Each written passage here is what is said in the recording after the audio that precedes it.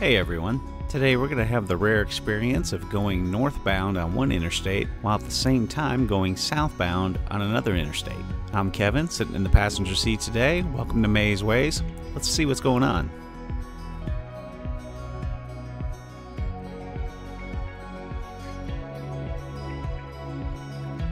Let's check out my crudely highlighted map. You can see I-81 North is coming in from the left-hand side, with I-77 South coming in from the top.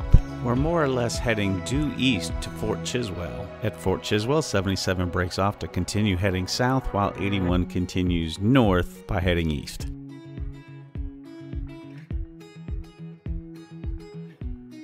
Even before our rendezvous with I-77, we're going in opposite directions right now. As we enter Wytheville on I-81 northbound, we're also concurrently following US 52 south.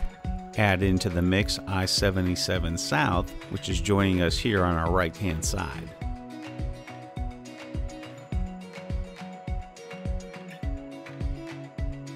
And if that wasn't enough, get off at this exit here to hop on US 11 heading southbound, going the other way, while US 11 northbound joins us here, merging on our right. So to recap, we're now following Interstate 81 North, US 52 South, Interstate 77 South, and US 11 North. And we're driving east.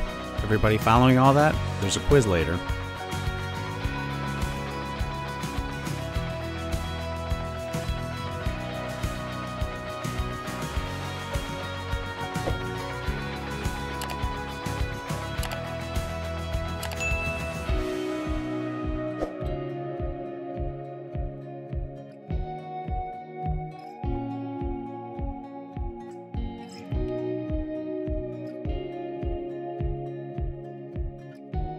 Having multiple highways run concurrently is very common in the US. And when those concurrent highways are signed going opposite directions, those are called wrong way concurrencies.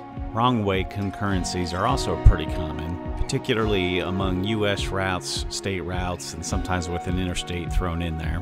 But it is rare to have two interstates concurrently signed in opposite directions. In fact, I only know of two this one here and I 41 43 up in Milwaukee. Do you know any other examples of multiple interstates signed in opposite directions? If you do, let us know about them in the comments.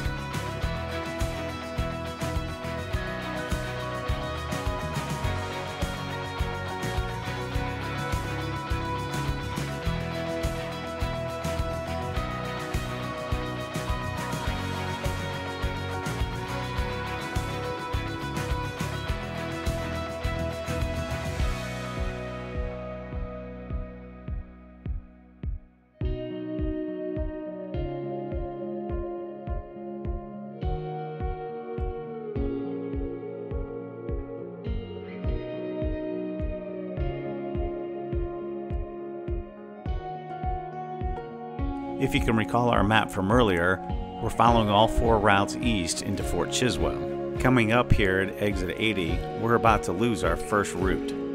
Let's all wave a fond goodbye to US Route 52 South, departing us to the right. We're seeing signs now for the upcoming split of I-81 and I-77. Interstate 81 North is going to continue to the left, heading toward Roanoke, Virginia, and all the way up north through Syracuse, New York to the Canadian border. US 11 North will follow 81 to the left. I 77 South will head to the right, eventually going through Statesville and Charlotte, North Carolina, and into South Carolina through Columbia. I'll be departing to the right with I 77, and in the process, departing this video. I appreciate you coming along for the ride, and we'll see you again next time here at May's Ways. Bye now.